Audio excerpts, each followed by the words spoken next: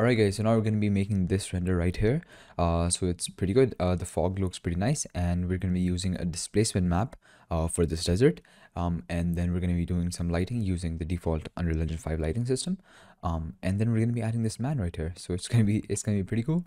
And yeah, it's going to be a good learning experience for you guys. So let's begin. Uh, so firstly, what I'm going to do is that I'm going to be opening Unreal Engine and you can just open whichever project you want. Um, or you can just create a new one just go to games and then create a blank project uh, but I, like to use one project for a lot of my different scenes so I just create new levels in that. Um, and the benefit of that is of course I have all my textures and stuff like that imported. Although we're not really going to be needing any textures and stuff like that in this scene. However in other scenes uh, when we need textures we just have them without having to import them. Alright so now I'm inside of Unreal Engine 5 and I'm just going to be simply going to file and new level and I'm just going to be creating a new empty level so perfect. Uh, I'm just going to press Control S so that it just opens the save window and I can just name it whatever I want. I'm just going to be calling it Desert SS. Perfect. Uh, so now we can just simply go ahead and firstly work on the lighting. I can just create the simple lighting setup. So I'm just going to go to Window, Environment Light Mixer, and we can create a skylight, an atmospheric light, atmosphere, sky atmosphere, volumetric cloud, and height fog. So now you're going to see most of our lighting is already done. We just need to reposition the sun and maybe um, just go to the skylight and turn real-time capture on. And that's just going to make our whole scene look a little better. Right, so now we can move on to the next step, which is going to be creating a landscape. Uh, now, the landscape in this case, of course, is our desert. And so for that, you're going to need a displacement map. Uh, and you can simply go to the internet and search for desert displacement map.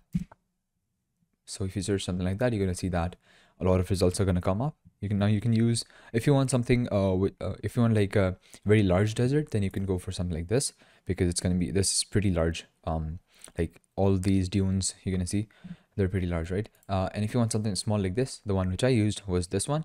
So i'm just going to be downloading that because this is um this of course is pretty good quality. It's very high resolution 2000 by 2000 and the credits for this uh this displacement map right here goes to this guy james trail James Strelly. I, I hope I, I hope I hope I'm pronouncing that name right. Anyways, so yeah, you have other options as well if you want.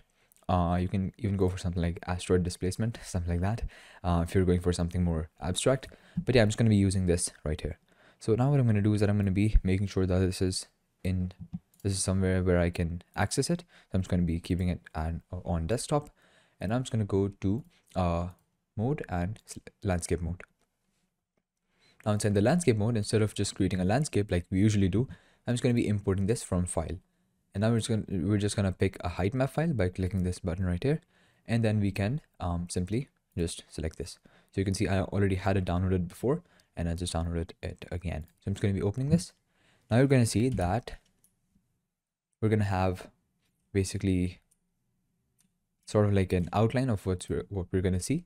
So I'm just going to be increasing the camera speed so I can show you guys right? So I think it looks pretty good. However, right now the problem is that the height of this is way too much. So in fact, let me just let me just uh, click OK and let's see how it looks. I'm just going to be importing this. You're going to see that it's going to look pretty large, right? Obviously deserts, uh, desert dunes are not this big. So we're going to have to do something to fix that. Right? So obviously this is way too large. So I'm just going to be control Zing that. I'm just going to be undoing that. And now what I'm going to do is that I'm going to be setting the scale Z to something like 50. Let's try that. Now this is trial and error. I would recommend you to um sort of just try and just see what looks good and what doesn't. Something like that might do the job. Or maybe maybe you can go for even something even less. Uh, so in this, I think it's a little less. I'm just going to be pressing Control Z. Instead of 50, let's do um 30. I think that's much better. Much, much better. Perfect. So now we our landscape is done. And the good thing about this um, displacement map is that it also comes with these minor um, imperfections and the sand formations. So it looks pretty good. Uh, and just go ahead and save all and press Control S as well to save your whole, pro uh, your, your, whole project. project. Uh, so now one problem which you're noticing is that if I, let's say if I place my camera here, you're to see that this part looks pretty good. However, the, the part at the back, it looks empty. And in this scene, if you see, we basically have um, sort of duplicated this um, landscape and placed it behind as well. So we're just going to do that now. But before that, let me just apply a landscape, uh, basically a landscape material to this. Uh, that material is going to be obviously a desert sand material. So for that, let's go to add, add Quixel content. So once you're inside Megascans, you can just simply search for um, desert sand and now you're going to see a lot of these options. Uh so you can obviously go for something a little more what do you call it? A little more um displaced. But i'm just going to go for something which is very smooth and simple. And of course we can make changes later on. And the reason why i'm going for something smooth is because obviously we have uh, we already do have the displacement which we need. So we don't really have to get extra displacement. What about something like this? Maybe something like this. Actually, you know what? I'm just gonna experiment with a lot of these. Um, that looks pretty good. Right, so I mean, all of them look pretty good. So what I'm gonna do is that I'm gonna be, uh, it's asking me to sign in, so I'm just gonna sign in, and then I'm just gonna I'm just gonna be importing all of them, uh, many of them, and then we're gonna see which looks good and what doesn't. Alright, so I'm just going to be downloading low quality because we're going to be so far that it's not going to be that visible. Um, the bumps and crevices are not going to be that visible. So I think the one which I used last time was either this or this because I already do have them installed. I think it was this one because judging from the color of the sand, yeah, I'm pretty sure it was that one. Anyway, so let me just download. I think this was in medium quality, so I'm just going to add that. And let me minimize this and I'm going to be selecting the landscape. Let's go down to landscape material and let's drag this in. So now you're going to see it looks pretty decent. However, one problem which I am noticing right now is the fact that this texture is tiled a little too much. You're going to see if I just zoom in so much, then you're going to see that it is slightly visible. So I'm just going to be scaling the texture up, which means that I'm going to have to reduce the UV tiling. And so I'm just going to be uh, opening this material and I'm just going to be checking this right here.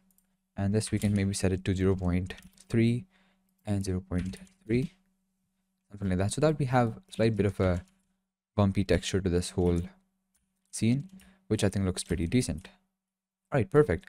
Uh, so that's going to be our texture. Now i am going to wait for the other ones to download because just so that we can try them let's try this one as well because i already do have it downloaded.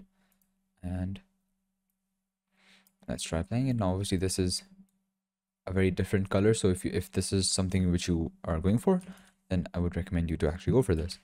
And by the way, I would recommend you to, I would highly recommend you to um, go for something which you think looks good and just don't copy mine because that's how you're gonna be increasing your creativity and yeah, just use your own ideas and come try to come up with your own ideas. So for some reason it's not taking that material, so I'm just gonna be removing that and I'm gonna be adding it again. Perfect. So um, I think we're good. Yeah, I think the material looks pretty good. Pretty good. Now let's move on to the next step, which is going to be duplicating this um, landscape.